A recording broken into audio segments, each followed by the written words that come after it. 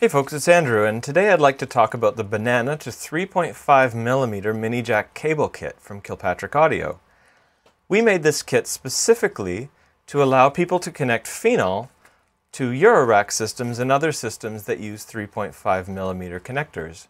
But you can use it for any Banana system to connect to any system that uses 3.5 millimeter mini jacks. Let me show you what you get inside.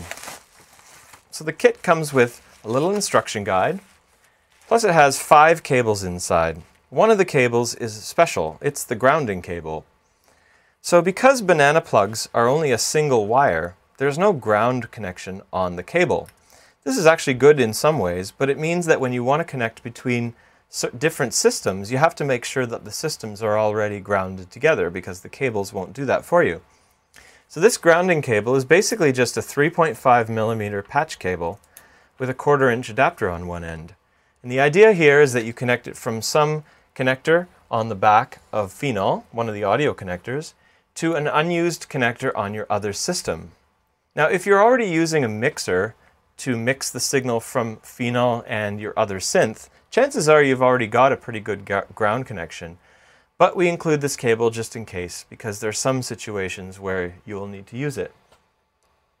So let me show you how we're going to set this up. On our system over here, we just need to choose an unused connector. So let's use this jack right here. And then we're going to connect the other end of the grounding cable to one of the external in jacks, which I'm not planning to use right now. So now our two systems, the Eurorack system and the Phenol, are connected together. The grounds are connected together. And now we can use one of the other four connectors here, or the four of the cables here, to go between Banana and Mini Jack. So I had this patch going before, but let's say I want to drive the, the oscillator pitch from the pattern generator up here instead of this envelope. So I can just disconnect that, and now I'm going to go from the pitch in on the oscillator to the CV out on the envelope, or on the uh, pattern generator.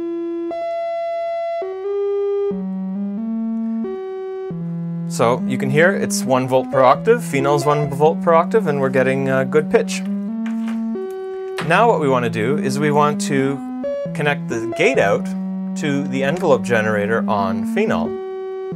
So now you can see I'm getting gate pulses here, and the envelope generator is going. And now what we can do is we can take the envelope generator, patch it into the amp in on the VCA, and now we've got a patch with two signals coming from the Eurorack system into Phenol. We could take signals from Phenol back into the Eurorack system and basically use all the modules together on both systems to create a more complex patch. And that's pretty much all there is to it. You can get the Banana to 3.5 millimeter mini jack cable kit uh, through our online store or through any of our dealers. Thanks for watching.